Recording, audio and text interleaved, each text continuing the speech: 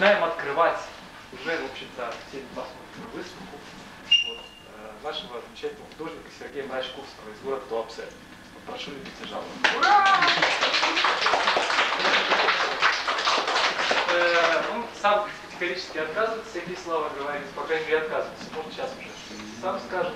Вот. Но все художники говорят, что мои- на- наши работы говорят за нас и так далее.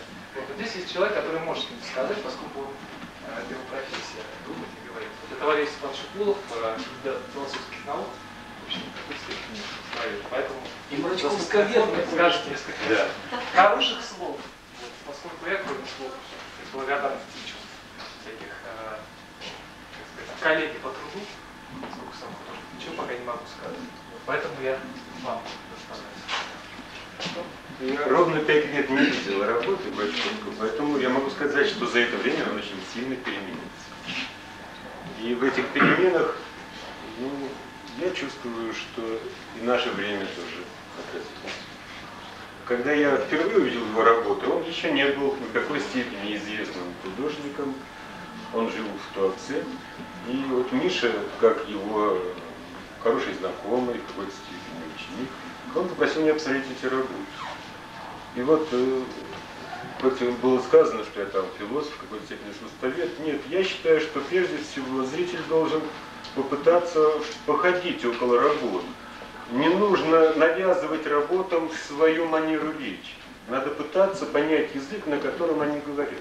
И вот если у нас хватит терпения, то в какой-то момент работы начинают сами с нами разговаривать и что-то нам объяснять. И вот я прекрасно помню, что посмотрев почти все его работы в его мастерской, я как бы почувствовал вот этот особенный какой-то очень сдержанный и лаконичный язык.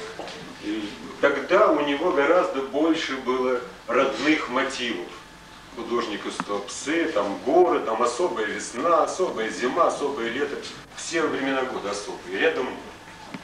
Но при этом около моря художник как бы ощущает природу иначе, чем здесь. Вот здесь нам природа кажется достаточно устойчивой, а у моря все время приходит в голову такая простая мысль, что вот горы не вечны, что это такие же волны, вот они всхлынули, поднялись однажды, а потом могут опуститься. Поэтому у него морские волны были, так скажем, такие же монументальные, как горы, а горы были такие же текучие и расплавленные, как морские волны. Вот этот взгляд на природу, что все мгновенное живет вечной жизнью, а что вечное мгновенно. В общем, это вот такая прирожденная философичность, она прямо входила в его творчество, только потому, что он все время свою жизнь всю проводил на берегу моря. И вот эта свобода фантазирования с предметами, ощущение мгновенности вечного и вечности мгновенно меня, честно говоря, тогда захватило. Но все это было еще связано с большим количеством родных мотивов. Вот сейчас у меня такое ощущение, что он уходит от этих мотивов, что для него философская сторона живописи, исследование вот этой текучести форм, структурного сходства их, исследование времени в живописи становится в какой-то степени самоцелью. Ну хорошо это или нет? Ну, по- с точки зрения чистой живописи, конечно, это большой шаг вперед. То есть это более глубокий предмет для всякого размышления. Что касается эмоциональной стороны дела, то я могу сказать, что здесь уже на любителя. Кому-то больше понравятся его ранние работы. Если у него они остались, он еще не все распродал, он сможет вас познакомить с ними.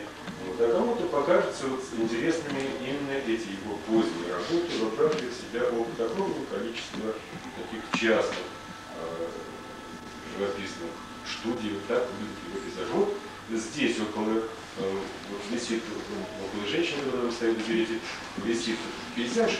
Вот это пейзаж типичный Горбачковского пять лет назад. И сегодня он представляет собой исключение. В общем, я хочу приветствовать художника, который ищет независимо от того, хвалят его ругают, покупают или не покупают. Он ищет свой способ сказать о нашем времени, заставить нас вглядываться не в какие-то частности, а в самое главное. Вот мне кажется, что проблема времени – это самое главное, что мы сейчас с вами забыли. И возвращение к времени, вот я считаю главной темой работы. Возвращение к раздумьям времени.